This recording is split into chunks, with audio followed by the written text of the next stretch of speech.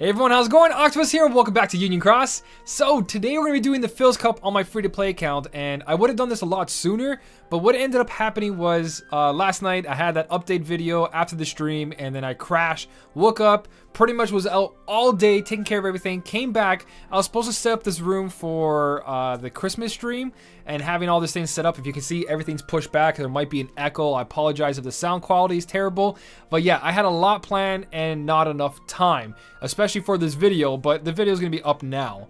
So hopefully you guys don't mind that it's near the next day already. It's going to be technically the next day by the time you guys watch this, but uh, hopefully it's just not too late. I know most of you guys already passed it. A lot of you guys already did a lot of stuff to pass it as well, which I want to talk about. Um, it's the Phil's event for the, the Phil's Cup for 3,000 jewels. So if you're spending jewels to pass this, you basically kind of did nothing because um, what you're making powerful is your tier 4s or lower and you really don't want to waste skills on them you really don't want to waste uh, Mickey and brooms. you don't want to waste anything to really pass this. Just try to pass it. If you can, you're good. If you can't pass it, don't worry about it. You don't want to spend, pull, or waste any skills to do this kind of event. This event is just to do as much as you can and get what you can out of it. So we're going to see how far I can go with my free-to-play account. Uh, I don't have much, but we'll see how much I have to use here. I know a lot of you guys already did your own runs. A lot of people already posted videos. I haven't seen anything. I'm going to this blind. I don't know what's good. I know what tier 3s are good and what tier 4s are good, but we'll see as we go, guys. So, let's go for this first one off the bat. Special attacks allowed only for medals with an SP attack bonus of value 4 or less. So yeah, and no borrowed medals. So I gotta make a whole Keyblade for this. It's gonna be the condition all the way. Uh, after I make my Keyblade, I'll come right back. Alright, so here's the setup that I'm to start off with, and as we go, I'm to get a little bit better and better and better because I know this is not to be good enough to go through the whole thing. I just grabbed the Keyblade, multipliers aren't too high, it's not crazy, it's nothing spectacular. I just want to see how much I need to push myself to go through this. So, this is not to be an event that's really good for new players. If you're new, you're kind of screwed. If you're not new, you're okay. Um, everything I have on here has SP Gauge 1. My times 1 buffers are from the organization event. It costs 0 SP, gives me 1 strength, does a little bit damage. It might do something here. What are those guys? Oh, do you guys see that? Those guys are awesome. They look like something from like Nightmare Before Christmas. I love it. I love it. But as you guys can see, everything I have on here has an SP gauge of some sort because uh, if we don't have SP Restore, we're kind of screwed. The only SP Restore I think we have available is Iago and Chip 'n Dale. And again, Iago is RNG based and Chip 'n Dale is not around anymore. So, at least it's continue, uh, complete without having continue. So if you have a pet rank 5, uh, you can do this and second chance. But again, don't waste skills if you don't have to. But you can bring in a medal that's not a tier 4 and use this second chance skill. It'll still activate. But there we go, our first skip ticket plus. There was an error in the notice. They don't actually give you all rewards. So don't use your skip tickets thinking you're going to pass one of these and get all three Mickey heads completed. You're not. They have to fix that. All right, round two. This is going to be all 10. I'm going to do the first 10 in this video and the last five in the last video because I'm pretty sure that video is going to take forever and I don't want one big 30 minute video. So auto battle with this setup. The setup is pretty straightforward. Again, this was a farmable Halloween event right here and the other one was just the organization that passed by. My Saix-B is guilted, but it is a really good guilted organization member. This guy's fully guilted. We do have the destroyed behemoth as well, or destroyer behemoth. That's really good. You guys can use. Um, mostly here, I don't have to use all these yet, but I'm going to let the full rotation go. And by the way, have you noticed my avatar?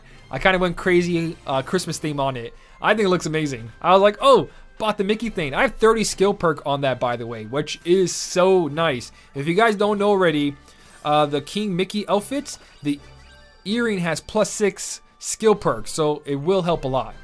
Alright, quest number 3. Quest number 3, still level 1, uh, low level enemies, so not too bad. We should be okay until like probably quest 10 plus. Because level 300 enemies, tier 4s are still strong, tier 3s that are still strong. As long as you guys have a couple buffs, you should be okay. Uh, I, I wonder when this can get ridiculously hard. I know that my medals do have extra attack, but extra attack on that medal wasn't too hard. We had so many reroll chances on that, and it's giving me that 2 strength, uh, not 2 strength, but 2 attribute up, which was really good.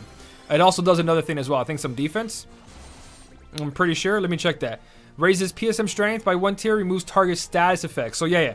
He has to be in the beginning of the Keyblade, so you don't take away any anyone's buffs if you're doing debuffs. Or sorry, anyone's debuffs. So, so far so good. That is quest number three, and we got seven more to go in this video, which is going to be pretty good, I think. It's not going to be too hard to go for between 1 and 10, especially with this simple setup. I could be biting my, my tongue right now.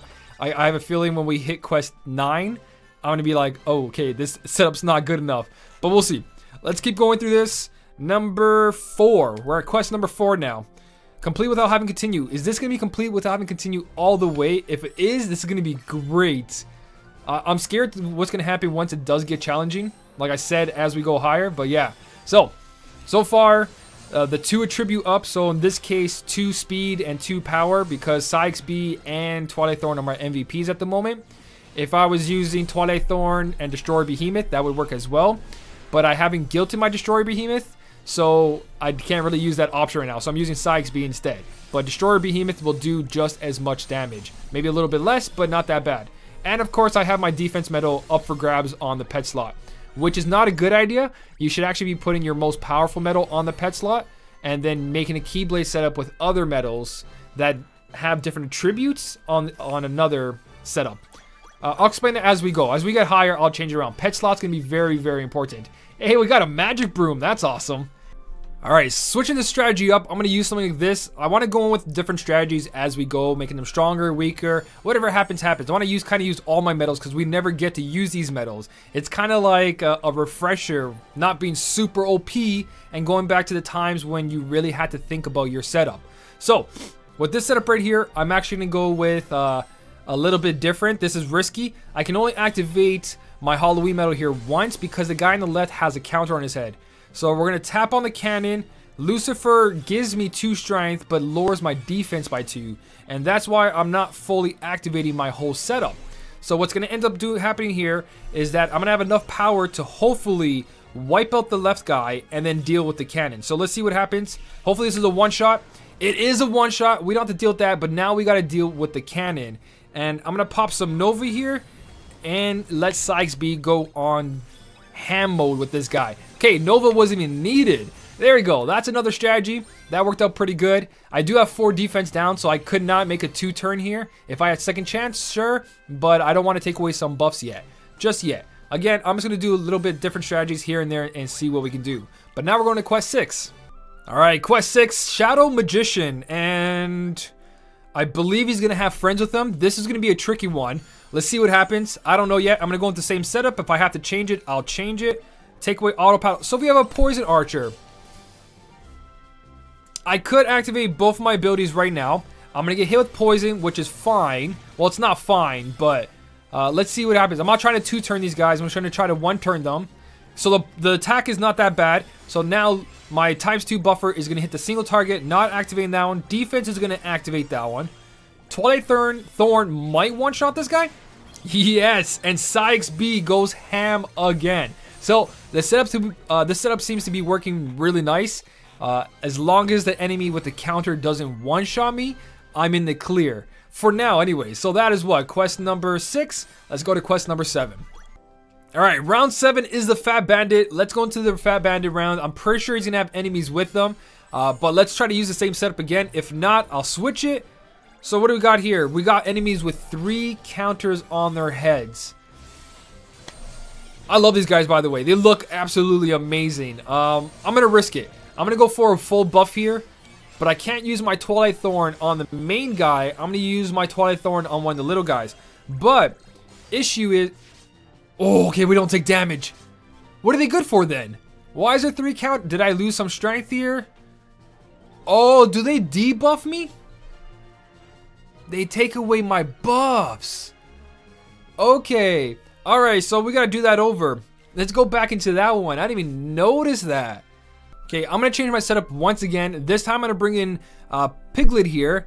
And with Piglet, I can use more buffs where my tribute buff was nice, it just was a little too much. And these guys don't have any defense buffs on them, so this is going to be pretty solid. So the first three hits are going to be pure buffs, Smee, and then Nova, and then I'm going to use my Twilight Thorn and Saix-B.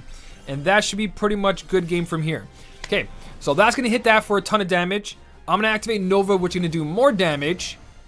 And then Saix B should be able to, to wipe out the rest. There you go. That is the next quest. Single target buffs are going to work out pretty nicely. Um, they're not really, I guess, available to all of you guys. You have to get lucky in pulls. But I don't think you need that much strength buffers. I was just trying to go for single hit buffers here. So that is number seven. Let's go to number eight. All right, completely different setup. I went in, got ruined. Uh, that defense down was a terrible idea. So I don't have full SP on this. I'm going to kind of take a risk here. A lot of these medals are 0 SP and 1 SP. So hopefully this setup works without getting ruined.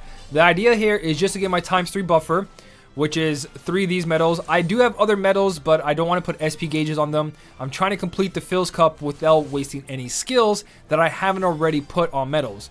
Uh, my Vexen B here actually has a defense boost 2 max on it, and it's going to raise my defense. Also, I got super lucky with extra attack.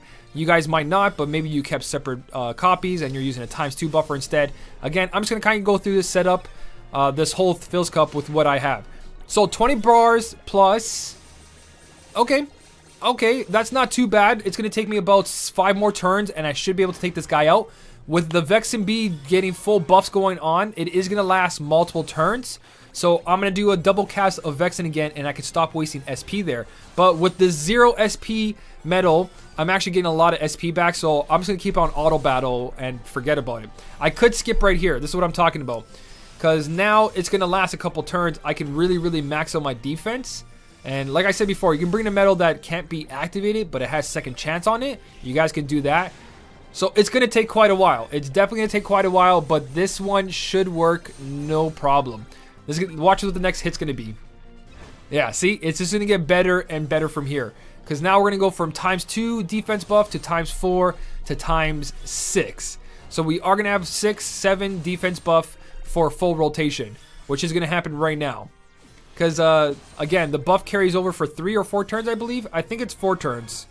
This buff right here. And this is pretty new. You guys don't need him guilted uh, for four turns. So we'll have full activation of this medal easily. And I don't think he's going to be able to scratch us at all. This is going to be one of my MVP medals. I know HPO is a lot better, but HPO is also a lot older. So I'm trying to stay away from that. So I'm going to skip to the end because I'm pretty sure after this hit, we're definitely not going to take any damage. I'll see you when this guy's near death. Alright, so one thing guys is this boss actually restores a bunch of HP. I totally forgot about that. The Trickmaster Omega from the last high score challenge. It restores a lot of HP. So this took longer than I thought. So I took a little break while Auto Battle was on. And I'm talking to Metalcore, Maru, and everyone else in Discord right now. so you guys are part of the video. Say hello to Metalcore and everyone in Discord. Uh, yeah, so anyways, this guy Restores HP. This took so long, but here we go. This should be the end. I'm just gonna take on Nova because I don't want to take any chances. And B, just, just, just end this. This was just a nightmare. I swear to God, I've been here for like 10 minutes. 10 minutes. I'm not doing that again. I'm gonna put proper buffs on. It's just ridiculous. So, I'll see you in quest number 8 or 9. Alright, quest number 9, Dark Side Omega. And I'm pretty sure that this is the one that restores HP and also debuffs you, so on and so on. But of course, you know what? No, I'm gonna switch around my buff medals. I'm uh, these guys restore a lot of SP, so I think I can kick in at least another strength buffer in there, like Piglet. I'm gonna put in Piglet, and let's go back into this. You know what? I'm also gonna add this medal here because I know the dark side has a buff like every turn, and he gets stronger and stronger. So I'm gonna take away his buffs and hopefully survive this. So times 3 strength buff and my defense plus attribute and all the good stuff. This should work. And this is going to take super long, but this should work. So let's go for the first round here. The first round. Let's see how much damage we do and let's see how much we take away as well. He's got 131. Uh, I'm pretty sure he has a heal somewhere when he hits like 50 bars of HP. And also he has a debuff and he has a poison and he's just he's just a really good raid boss. Like incredibly good. Omega bosses are just something you don't want to mess with. You have to have the proper uh, your your own buffs and everything. So let's see what happens. Vexen is going to keep me alive with Defense Boost 2 Max, which is solid on that medal, and he is a Tier 3. Uh, Twilight Thorn. Not bad, but not amazing. And Saix from 131 down to 104. So we're doing about 27 bars of HP, and we're going to take a hit of... Okay, We're definitely going to survive this. This is going to be a full run through. Um, I have no buffs on him, so that's good. I'm only buffing myself, which really complements this medal. Because if you have a debuff that carries over, uh, then he just removes it. So, I'm to let this play through. If anything exciting happens, which I'm pretty sure it's not going to with Vexen and Defense Boost 2 Max. But if something exciting happens, I'll let you guys, I'll let you guys know. Alright, next turn is the turn we finish him off. As you guys can see, I can probably actually stop here and use Nova, but if you saw that last hit, he actually took no, I took no damage.